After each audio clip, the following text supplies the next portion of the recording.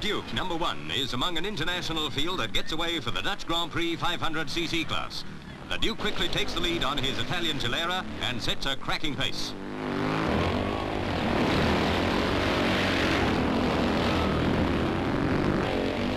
Fergus Anderson of Great Britain, Italy's Bandirola, and Rod Coleman of New Zealand are the Duke's nearest challengers. But he's holding his lead.